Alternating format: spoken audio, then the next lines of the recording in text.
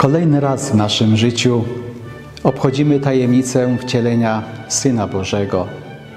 W małym dzieciątku przychodzi do nas Emanuel, Bóg, Bóg z nami, który chce przynieść światło, radość, pokój i miłość dla ludzi dobrej woli, którzy otworzą serca swoje na Bożą łaskę.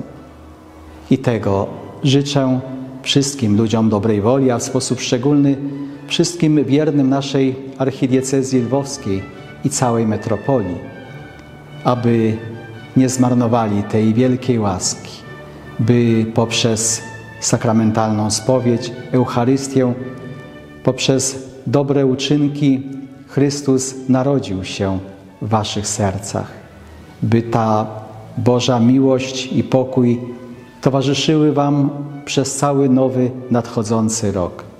A Matka Boska, Rodziciel, Boża Rodzicielka, niech strzeże nas i was od złych przygód. Niech będzie dla was mat najlepszą matką, matką dobrej rady, matką pokoju. Chrystus narodził się. Wychwalajmy Go.